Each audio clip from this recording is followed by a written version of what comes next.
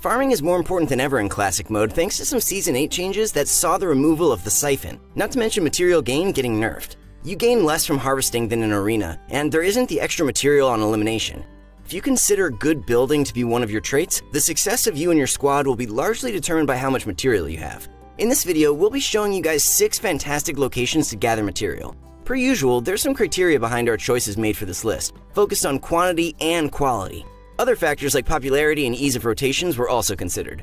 As we discuss each spot, we'll also try to lay out the most efficient path. And if you need even more help mastering the tips and tricks we're going to be discussing in this guide, check out Insta Pro. We can set you up for some coaching sessions with competitive Fortnite players who can help you get those victory royales.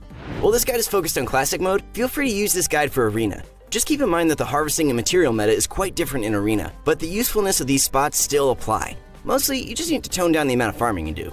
Speaking of farming, let's get into our first location, Fatal Fields. Fatal Fields has always been one of the best spots to gather wood and brick. However, the metal was always a bit more scattered and in low quantity. With Season 9's Sky platform, as well as the somewhat new Fork Knife location, it's become a lot easier to fill up our material. And for when you want to leave, there's a slipstream that goes right through the middle, allowing for quick and simple rotations to pretty much anywhere on the map. We suggest landing either at the farmhouse or by the vending machine in the back. Loot up and harvest the furniture inside. Be sure to hit any wooden fences as you pass them for some quick material.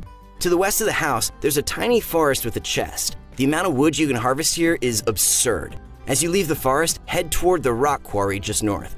Over here, there's another potential chest and tons of brick.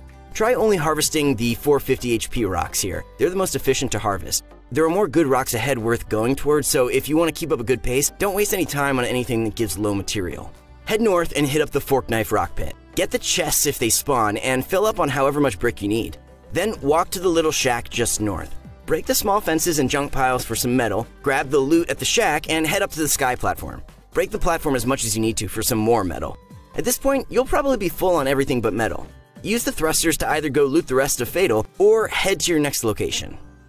Lazy Lagoon has had a crazy amount of material in it since the beginning. Even in Season 9, there are still a few bugged spots that give more than the normal amount. Then, once you grab all your loot, there's several getaway choices for when you decide to rotate.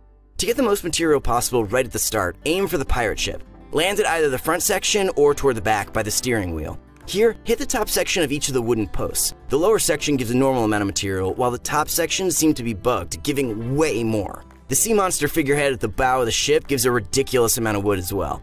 Before harvesting the wood, grab the chest resting on top of it. As you head below deck, make sure to farm any bookshelves, beds, and other pieces of furniture on board.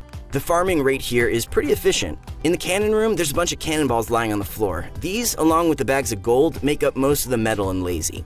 The gold bags break in one hit, so don't forget to hit them for metal as you progress through the ship. When you reach the lower deck, there are several wood panels that you can choose to hit if you still need more wood. You can also farm the metal down here if you'd like, but it's not that efficient. There are some alternative choices you can make with this route as well. You can choose to rotate to the village after finishing with the pirate ship. There's plenty more loot on the village side of Lazy, but the material amount isn't the best. If you do rotate this way from the ship, there are a few rocks underneath the docks you can farm before entering the village.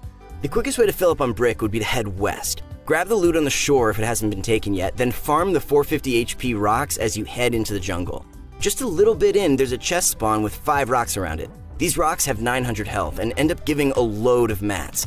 After farming these, you shouldn't need more brick, but if you do, there are plenty more rocks nearby in the jungle. Now, to get some metal. Head south from the rocks, destroying the RV at the bottom of the hill. Then keep going until you reach the sky platform. The whole thing is made out of metal, and there are a few potential chests to grab. You might not get max metal in regular game modes here, but if you're in Arena, then there should be no problem. Once you're done, use the air vent to rotate to your next location. Pressure Plant is the newest location on our list. There's one thing that's quite unique about Pressure Plant. It's a dead volcano with no trees, so the only wood you can harvest are these wood pallets, located sort of in the middle right side. It's also right next to a bunch of chain link fences and these large yellow pipes. The pallets, fences, and pipes make this the best landing spot in Pressure Plant for gathering material. If you're okay with the material you've gotten so far, feel free to stay, looting the rest of Pressure Plant.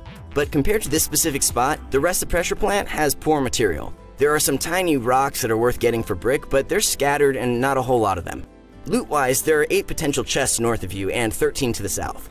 Climb down south in order to get to the chests below you. Check the truck on the left pavement for a chest and some more steel. Then head toward the River of Lava to loot any remaining chests. At this point, your mats and inventory situation should be missing mostly brick. So if you want to grab some more brick, there's a nearby group of large rocks by a cliff near the lava tunnel, just south of Tomato Temple. Speaking of which, one of the quietest locations in the game, the old Tomato Temple Arena, doesn't slouch when it comes to offering mats. There's a good supply of all three types of material here.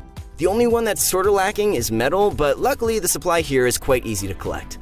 We recommend normally landing at the top of the temple, right under the tomato. If you don't see a chest up there, land on a weapon or another chest location first so you can defend yourself if needed. The giant tomato can actually be harvested for a really good amount of material, over 100 metal, so be sure to destroy it whenever you can. Then gather the rest of the metal in the form of the ice cream truck and RV down below. Open the remaining chests in the temple, then go west. Harvest any trees along the way for wood, and just down the cliff there are more chests and two small dilapidated buildings. From there, go south toward the cliff with a bunch of rocks on top, the same one from the previous path. Here you can gather a ton of brick. From this point, you can go get the two extra chests down in the tunnel, or you can take the slipstream in front of you to rotate. If you do need wood, metal, mushrooms, or just looking for a fight, head to Dusty. If not, the slipstream can take you pretty much anywhere you need to go. The unnamed Baller Camp is quite slept on and underrated. When it comes to material gathering, it's actually better than a lot of name spots on the map. It's also pretty low key, meaning you won't have much trouble with opponents here. The exception is if it's an arena match where players might be more inclined to land here for a baller. The main benefits of this spot is the large amount of wood and metal to farm. There are trees located everywhere, as you're in a jungle. Harvest these for your wood. When you get the chance, go for the tall palm trees since those can drop coconuts to fill up your health. For metal, the chain link fences surrounding the camp should provide enough material.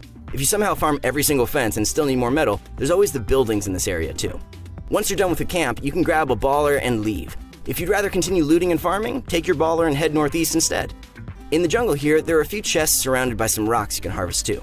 At this point, there isn't much else in the jungle. You want to start planning your rotation at this point. On your way out, you can choose to check out the six chests and vending machine by the hot springs to the west. There's some good wood and brick here as well, making it worth a stop. There aren't many bad things to say about Lonely Lodge. It's one of the oldest POIs and has remained an all-around great location for several seasons now. In terms of how good its mats are, you've got trees everywhere. There's also a good amount of rocks and vehicles scattered throughout, so each material type is covered. The loot isn't bad either. To top it off, there's plenty of mushrooms that you can gather for more shield. It's best to land at the large northern cabin, as you'll find up to three chests and a vending machine here. From here, head south to loot the rest of Lonely. Harvest materials from all trees, rocks, and vehicles you see while on your loot path. The watchtower can be a pain to loot sometimes as it just takes so long to climb, but there are three chests, more trees, and a few more rocks along the way there. So might as well head there if you need more materials still. To fill up your steel, you've got a few choices. The best one is the RV park just to the southwest. If it's already been looted or you'd rather go somewhere else, there's the baller spawn location just to the west of Lonely, on top of the large hill. Here you can destroy the building for some more metal. RVs are generally more efficient to harvest, however. Other than it being contested, there's no good reason not to rotate to the RV park. Make sure you check the vending machines on your way out as well. One just to the west as you exit Lonely Lodge, and one by the mansion's front gate to the south. There are quite a few more locations with great material, but unfortunately, we've run out of time. Let us know in the comments what spots you and your friends like to land at for quick mats. If you learned something, leave a like on the video. Now it's time to take what you've learned and go apply it in-game. Practice the spots you thought seemed best and figure out what works for you.